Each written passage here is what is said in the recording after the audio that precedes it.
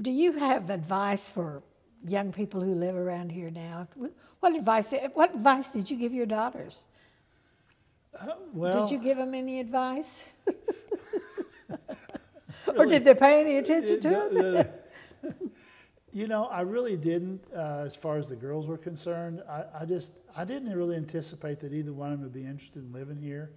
One of them was, and one of them, one, the minute she got out of college, she wanted to go to New York. You know, she wanted to be in the ballet or whatever. So one of, I knew one of them was not going to stay here. The other one, I kept thinking, you know, if I could get her into some kind of retail, that, I mean, that, that's what, you know, she got into retail and, and then she stayed around here and eventually got working for the Cherokees, and that was a good thing.